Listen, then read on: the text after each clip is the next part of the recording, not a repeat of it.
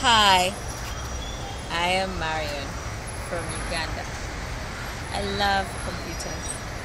They interest me, they have always interested me for a very long time in my life. I first used a computer when I was 13 years old. Can you imagine? I am now much, much, much older than 13. But hey, I look 16 now. But before we get into my love for computers, there is something else that I have discovered about computers and something that I love that I was introduced to five years ago. I'm in this lab, first day of training. I go, switch on my computer, and guess what I see? A black screen. Get what next? White words. I am in shock. I look at my mentor and trainer, and he tells me, You have questions? Ask Google. I almost collapsed. It was too much for me. First day, and I am already in a panic. But well, guess what? Five years later, I am loving free and open source software.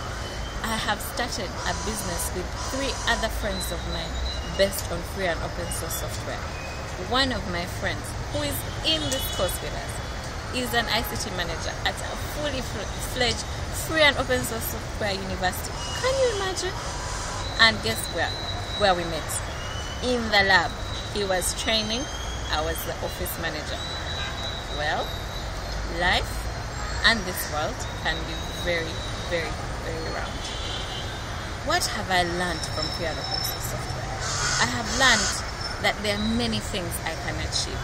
There are things that I can do. I have been around the world. I have hosted conferences. I have been part of conferences based on free and open source software.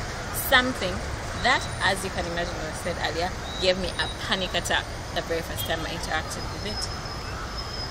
Our business has grown. It is impacting the country and the city where we live. People come looking for us for it. We are training people. They are loving it. We are growing businesses. We are helping people grow their businesses because in this country, it is quite, quite hard to start a business. It's even harder when you're having an ICT business and you can't find licenses because they're very expensive and you have to use pirated software. So, here we are, five years later. I'm doing story change. Why? Because I dared to go free and open source. Now, in Kenya, our neighboring country, the president called Uhuru, I'm sure you have heard about him because of all the ICC sagas. But did you know that his name means freedom? And did you know that he has just signed a huge deal with Microsoft Software as a company to provide Microsoft installed computers to Kenyan children in school? Well, Microsoft not open. Uhuru, freedom, mean, and that is something that I stand for as a free and open source advocate. Freedom versus closed. Where do you go? Or where do you lie? What does this mean for the movement? What does it mean for Kenyan children in school? It means they are going to be focused on only one platform for all of their lives, which, in my opinion, is just wrong. It is wrong. It is sad. These children, I'm not saying we get rid of Microsoft software. No. I am saying give me a chance to choose what works for me.